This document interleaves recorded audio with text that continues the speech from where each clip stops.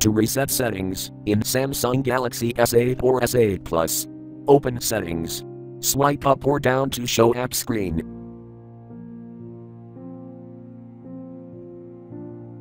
Tap Settings.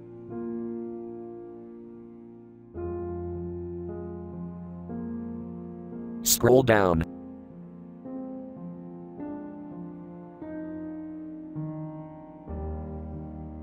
Tap General Management.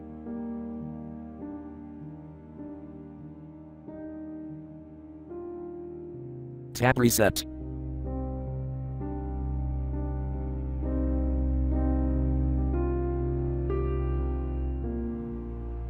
Tap Reset Settings.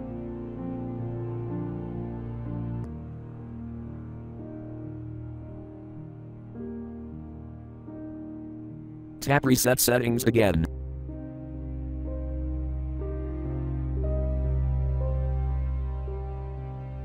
Enter the current pin, and then tap OK.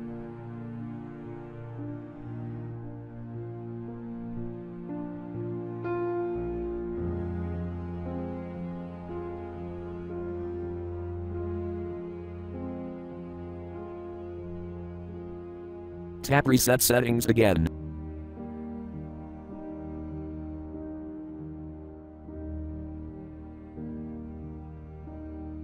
Thank you for watching, have a nice day.